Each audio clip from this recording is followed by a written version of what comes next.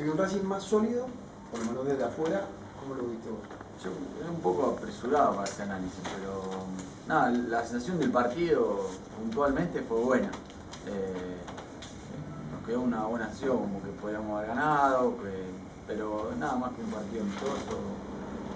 Lo tomamos de esa manera y preparándonos, por ahí el primer partido que pudimos, pudimos jugar todos los chicos que llegaron, así que de a poco nos vamos a ir más. ¿Qué nivel de va a tener Rafaela, que es el paso previo al gran partido que están esperando ustedes, que es la final con Boca? En cuanto a la confianza, va a ser claro, o clave, mejor dicho, ganar ahí, no importa cómo se juegue.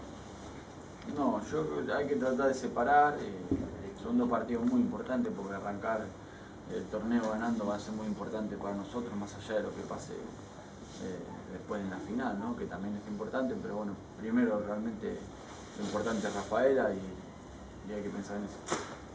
Agustín, en los últimos tres campeonatos, arrancaba el campeonato y Racing era protagonista o luchaba para ser campeón. Todo el mundo decía lo mismo. ¿Cómo se tiene que tomar este campeonato? ¿Qué piensan ustedes? ¿Racing es candidato o hay que esperar? No, es- esa es la cosa, no. Se decía, las cosas se van, eh,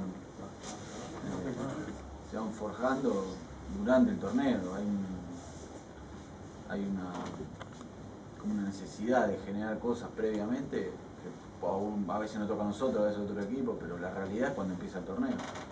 Entonces, creo que se entendió, el mensaje nuestro es bastante claro.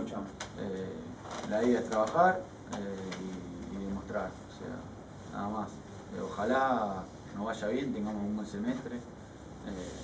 Creo que se están haciendo muchas cosas para que de a poco todo esto vaya cambiando y ojalá los resultados nos acompañen, que siempre son fundamentales. ¿Cómo ves la adaptación día a día de tus compañeros, de los nuevos, ¿no? de los nuevos y viejos, ¿no? con experiencia? Muy buena, muy buena, un recambio muy grande, pues se nos han venido muchos compañeros, han llegado otros tantos, pero el clima es muy bueno, eh, creo que el- eh, por ahí la- los objetivos y las, las pautas eh, son claras, se sabe a dónde se está apuntando. Ah, bueno, te vuelvo a repetir, todo esto lleva un tiempo, eh, ojalá los resultados vengan rápido, así facilita todo.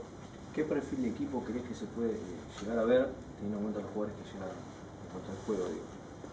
Eh, es difícil eh, decirlo, pero sí, por ejemplo, llegaron muchos jugadores de, mitad de cancha para adelante o más bien en el medio.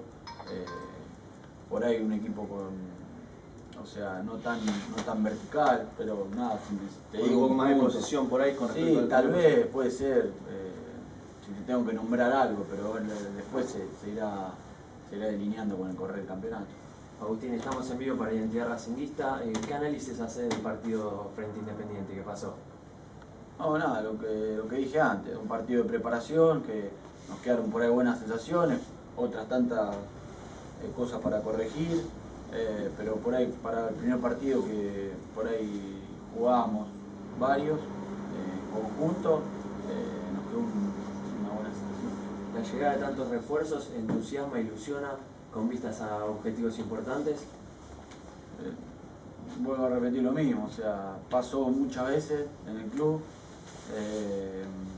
y la idea es tratar de formar un equipo sólido ante todo y eso lleva tiempo, o sea, creo que se están haciendo las cosas para que, para que esto mejore, eh, bueno, pero después empieza el torneo, los partidos, eh, la necesidad de resultados, ojalá vengan y acompañen todo este proceso.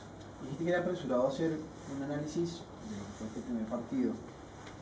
Faltó por ahí más posición de pelota, me Independiente por momentos manejó más la pelota que ustedes. ¿Cuál es tu visión? Eh, creo que fue bastante parejo en ese sentido. Eh, por momentos la tuvo Independiente, por momentos nosotros. Creo que por ahí fuimos bastante punzantes, si bien no la pudimos meter, generamos bastantes situaciones, cosas que nos venía faltando. Eh, nada, como te digo, uno puede ser un punto a mejorar ya del año pasado. ¿Jugar al lado de Camoranesi? Eh, más sencillo. Hace las cosas más sencillas, a cualquiera le pasa, no, no a mí solo. Eh, son jugadores que por ahí día juegan 20 minutos y ya se dan cuenta la, la- la jerarquía que tienen y en poco tiempo demuestran el, el porqué de su carrera también. Decías Agustín que el objetivo es ganarle a Rafaela, pero ¿cómo hacen para disociarse de lo que va a ser una final la otra semana con toda la algarabía que, que demuestra la gente, con un equipo que hace 20 años no juega una final? No, es- sabemos por la importancia de la final y la trascendencia que tenga, pero el sábado cuando estemos acá la gente va a querer que ganemos el sábado. Eh, así que y la gente también sabe lo importante que es arrancar un torneo bien. Nosotros lo sabemos y no, no tenemos por qué, no nos va, no nos va a servir de absolutamente nada saltearnos una etapa sin necesidad. Beneficia en cierto punto que Racing y Boca, más allá de Boca contar con los mismos jugadores, eh, se encuentren en lo que es el inicio de la temporada y no más adelante. si beneficia. No, eh, por ahí, s- si viendo el lado positivo y negativo, por ahí te puede condicionar un poco. El que salga bien parado le va a dar un respaldo y el otro por ahí, eh, la primera semana del campeonato no, no estaba acostumbrado. Pero nada, eh, tratamos de no pensar en eso y nada, cuando llegue el momento de la final eh, analizaremos todo. Boca tuvo bajas importantes. Brasil tiene un plantel prácticamente nuevo. ¿Crees que por el conocimiento que tienen ellos, por ahí tienen una mínima ventaja porque ustedes están armándose? No, en ese sentido, eh, Boca está, el equipo está formado, eh, lógicamente.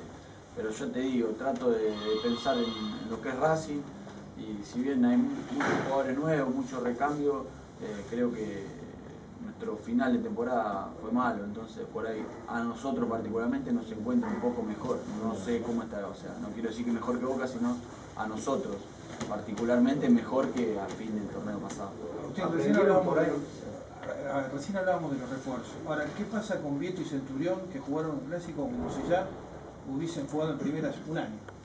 Y bueno, son las cosas buenas de tener un plantel con mezcla, con jugadores jóvenes, que por ahí no tengan la responsabilidad absoluta de, de- un partido, creo que se le hace más sencillo cuando hay jugadores que lo respaldan, cuando otros jugadores, cuando hay más jugadores para absorber presión y ellos jugar más tranquilo, que es lo que tiene que hacer un chico de 18 años como son ellos. Las condiciones las tienen, no hay duda, y si logramos formar un buen equipo, eh, va a ser muchísimo mejor para ellos también. Te iba a preguntar si aprendieron la lección esta de no ilusionarse tanto que después las cosas no se dan. Eh, el hincha debería aprender de eso, de no, no pensar tanto en eso. Ustedes, por lo menos personalmente eso creo que los jugadores lo tienen bastante claro, porque sabemos la realidad. No sé si es tanto al hincha, creo que al hincha se lo va aumentando un poco. Por ahí el hincha ve nombre y ahí sí se ilusiona, pero cuando en todo lado, todo el día se dice que es candidato, inevitablemente termina consumiendo eso. Eh, nosotros lo sabemos bien eso y el hincha creo que también. ¿Y les gusta que se los candidate o no? No, yo soy de, de pensar todo lo contrario, o sea, previamente no sirve de nada. No sirve de nada, todo lo que se diga no tiene, no tiene ningún sentido ni valor, a mi entender. Eh, todo lo que sea durante, bueno, sí, porque está fundamentado sobre lo que muestra el equipo, eh, todo eso, creo en eso, no, no en todo lo otro, en la previa, en la necesidad de generar cosas. Recién dijiste no se va a ver un equipo tan vertical. ¿A quién ves?